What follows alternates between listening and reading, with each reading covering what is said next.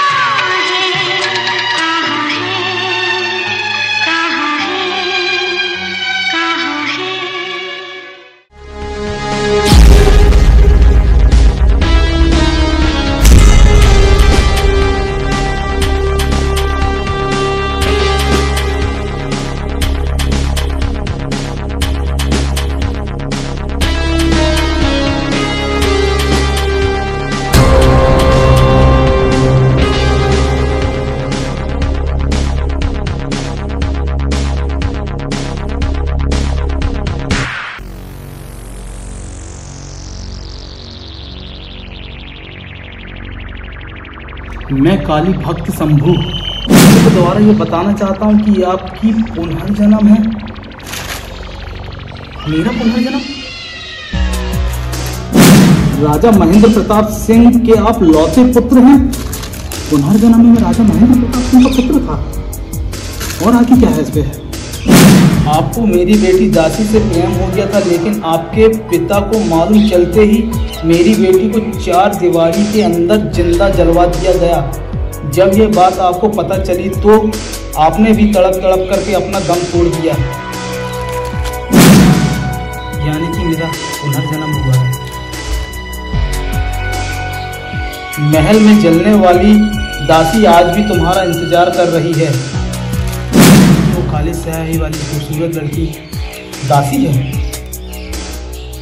मेरी बेटी को तभी मुक्ति मिलेगी जब आप मेरी बेटी को दिए गए सारे उपहार, जिसके सहारे आज भी वह ज़िंदा है, उसे जलती हुई आग में झोंकना पड़ेगा, तभी मेरी बेटी को मुक्ति मिलेगी।